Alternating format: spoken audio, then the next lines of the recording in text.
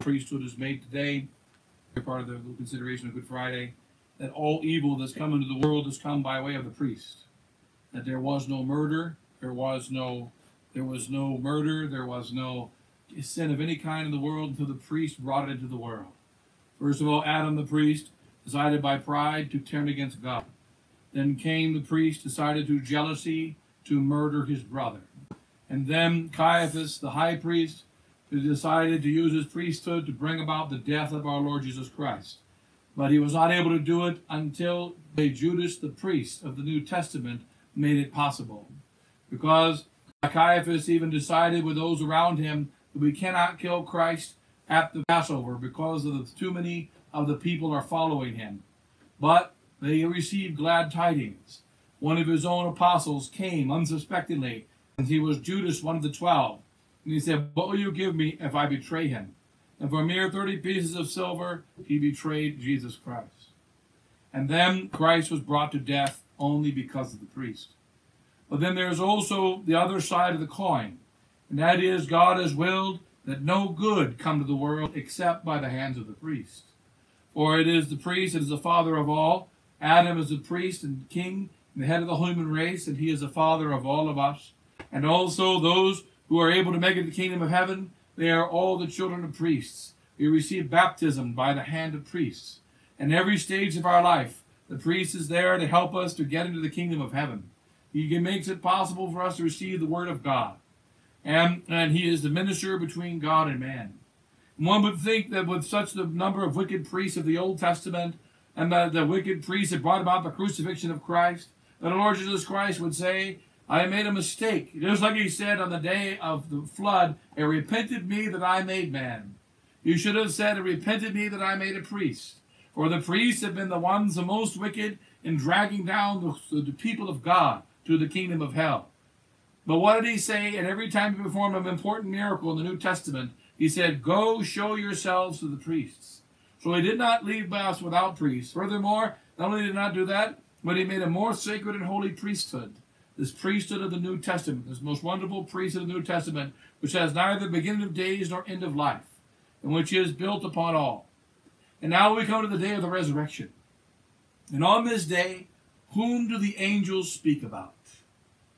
When we consider the important words of this holy angel and consider the circumstances of it, Mary Magdalene, Mary and Cleophas, and the other Mary, they go to the tomb. The apostles don't go to the tomb because they are cowardly priests locked up in the upper room. They don't believe in the resurrection. They are the ones who fled in fear on Holy Thursday night when they were never in the slightest danger. They didn't know that. Our Lord would not allow them to be harmed.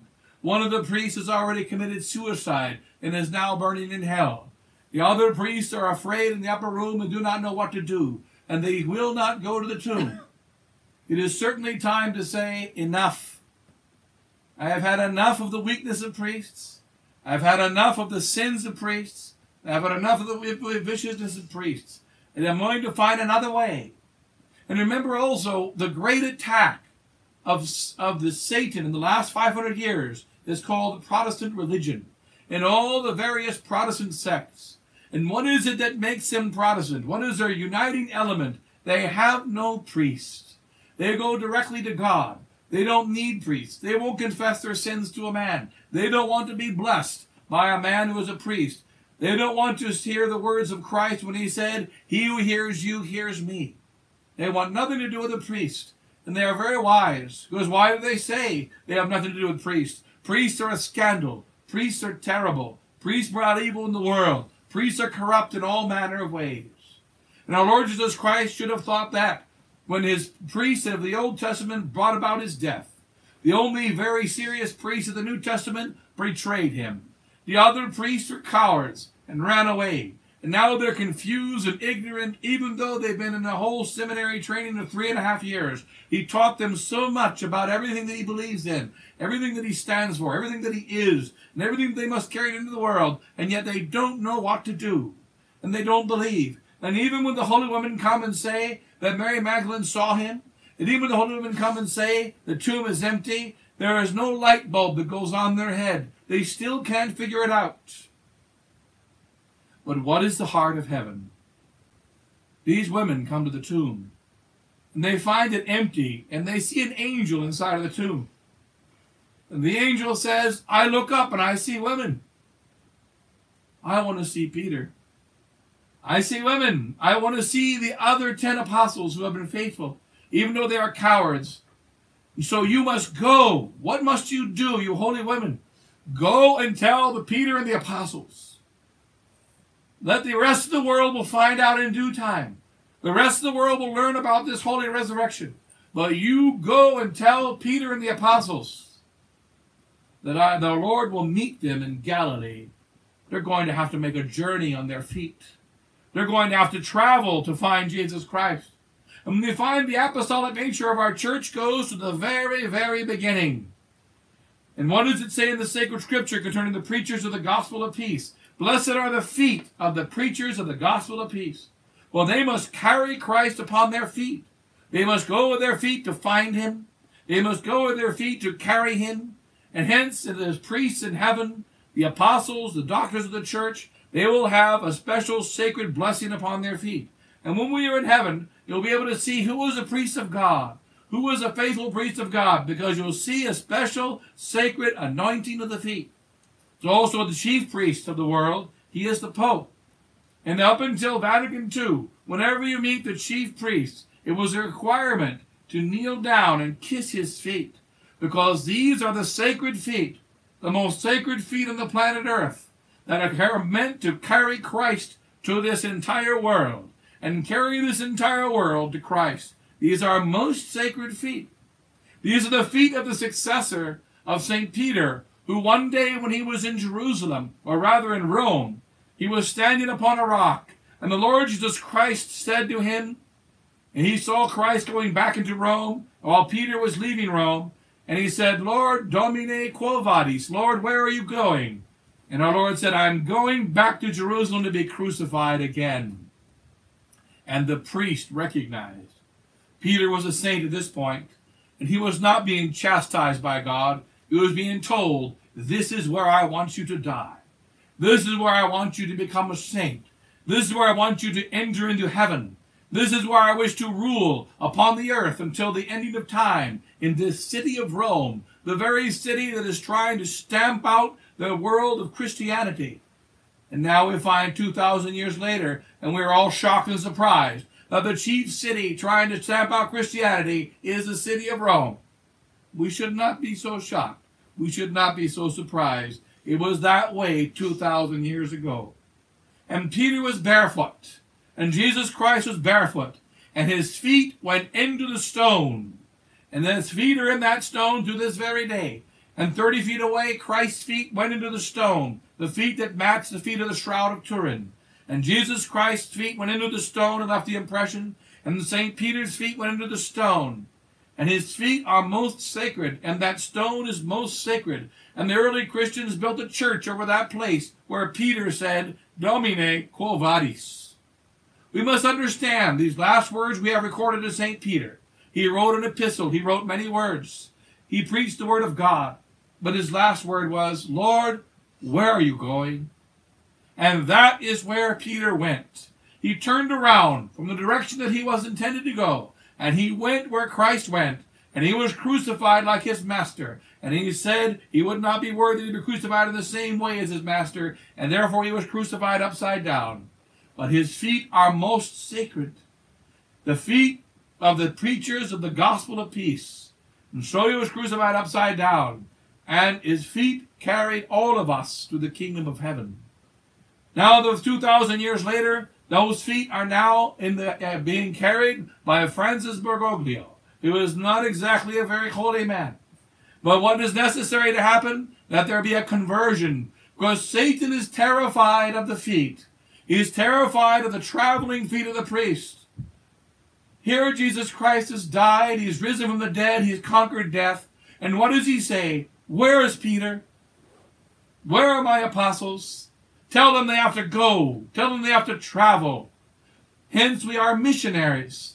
Every priest of God is a missionary. It is a privilege to belong to a missionary order dedicated to the missions, but the greatest privilege of the priest who has done been responsible for so many evils, in fact, all evils that are in the world, is to be able to stamp out that evil with his feet and to carry Christ to the ends of the earth. This is what must be done in order to conquer Satan. It matters about the feet of the priest. It matters about the hands of the priest. When it was anointed with these gloves by the bishop, when consecrated a bishop, he put on these gloves and said, These gloves, they are a reminder of the hands of Jacob. And when Jacob went before Isaac, if he showed his real hands, he would have been cursed by Isaac and rightly cursed because they weren't the right hands that he wanted to feel.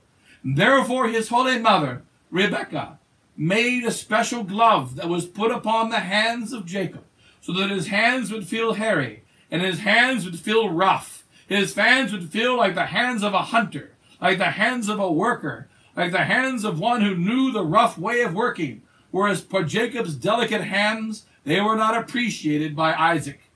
And so likewise, God the Father, he doesn't appreciate delicate hands. He wants the hands to be adorned, and hence these gloves are placed upon the bishop. As, as Rebekah put gloves upon the hand of Jacob, that he might receive a blessing. So the bishop must have gloves upon his hands, that they are not his hands which are weak, his hands which are soft, his hands which are not worthy of receiving a blessing.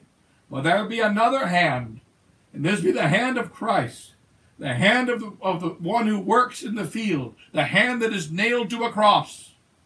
And the feet must be the feet that are also nailed to the cross. For the devil was quite wise when he recognized the danger of this priest. It's in his hands. Therefore he nailed his hands to the cross. And the danger of this priest is in his feet. Therefore he nailed the feet to the cross. But the feet of the nailed Christ and the hands of the nailed Christ, though they are nailed to the cross, they cannot be stopped from blessing. They cannot be stopped from giving out the sacred sacrament of Holy Communion. They cannot be stopped from bringing healing to souls by the absolution. They cannot be stopped from carrying the gospel to the very ends of the earth.